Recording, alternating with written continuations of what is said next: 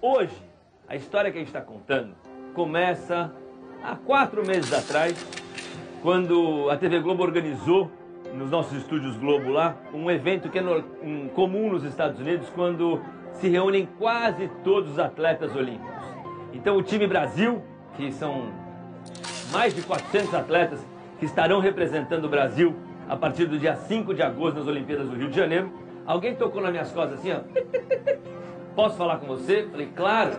Eu tenho um projeto social lá em Itaboraí que eu, queria muito que você olhasse. Pode ser? Falei, claro. No dia seguinte, falei, vamos ver o projeto da Iris. Resumo da ópera. Conheci esta dupla. Se eu estiver errado, você me corrige. Que fazendo um breve relato da sua história, nascida em Itaboraí, filho de Dona Marli do seu Carlos, uh, irmã da Isis e do Carlos Magno. Essa menina, aos 13 anos, era um pouco rebelde, brigava na escola, inquieta, incomodada, até que ela descobre o Taekwondo na sua vida, numa academia de ginástica aqui em Itaboraí, onde conhece Diego, que não tinha muito jeito para luta, mas tinha muita força de vontade. Uh, Diego identifica nela um enorme potencial como atleta. Os anos vão passando, essa academia fecha. O Diego olha para ela e fala assim: Iris, você tem muito talento você é muito determinado. Você dá um jeito de deixar Iris perto dele e não podia desperdiçar o, o potencial dela como atleta.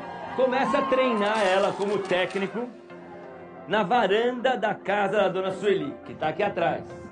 Treinando na varanda, as coisas começam a andar, ela começa a ganhar visibilidade no mundo do taekwondo. O exército, em 2011, identifica ela como um potencial olímpico, ela vira sargento do exército, então começa a organizar a vida dela e no final das contas vira técnico e atleta. A mãe, Dona Marli, eh, Dona Sueli, perdão, autoriza que o filho construa esta pequena garagem na frente da casa dela, que é essa imagem que está vendo aqui, que vira, além do centro de treinamento da Iris e do Diego, vira um projeto social. Vira o projeto Iris. Estrutura zero, mas uma força de vontade e uma determinação invejáveis. Falei, gente, essa é a história do Um por Todos. Esta é a história de Iris Tang Singh e seu treinador apaixonado, Diego Ribeiro. E agora chega de lenga-lenga e vamos ver como é que ficou. Dá uma olhada nas imagens de como era por dentro quando eu cheguei aqui pela primeira vez. Como eu já disse e vou repetir, que isso abra um novo capítulo na história de vocês e do projeto social. Curtam muito, tá? Obrigado.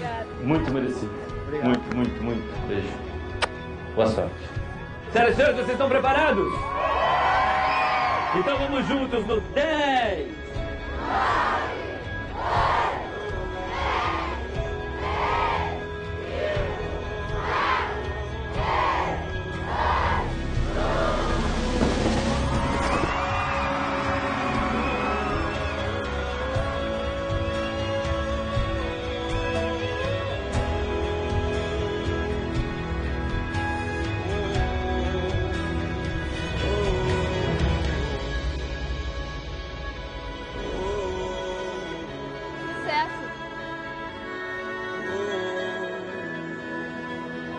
Muito louco.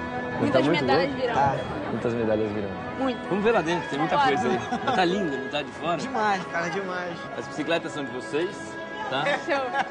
Tava Então- precisando mesmo. Falei com o Diego que queria comprar uma bicicleta, porque eu moro um pouquinho longe, né? Eu venho de bike.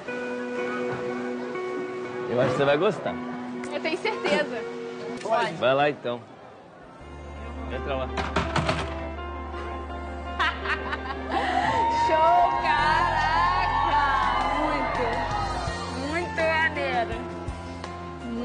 Maneiro. Ficou ótimo. Ficou muito lindo. Maravilhoso. Aí, Diegão. Ficou? Aí? Ali, ó. O Diego tava querendo ali, ó. Ó. Ele não queria? Tá aí, ó. Ó. Aqui, dois bonecos Bob para treinamento, uma esteira, uma bicicleta ergométrica, um transporte, um espaldar, três box jumps, uma corda naval de 10 metros, halteres e caneleiras, três bolas de equilíbrio, 20 cordas, duas raquetes de gilagem e dois paraquedas que você pediu. Paraquedas do Diego. Show. Aí. Show. Maravilhoso. Se com pouco a gente conseguiu chegar até aqui, imagina com isso tudo. A gente botou as telhas brancas para não esquentar, ah, tem a ventilação cruzada, você abre todas essas portas se você Tá quiser. ótimo. Quando precisava de fisioterapia e afins, onde é que era? Onde fazia? Ah, lá em Taboré, meia hora daqui lá. Vocês não tinham nenhum equipamento Não, de. nada. Nada? Nada, nada. Ou seja, físio, massagem, era Nada. tudo a meia hora daqui. Pra você, pros atletas e pras crianças também. Tudo. Entra aí, vê se vocês curtem.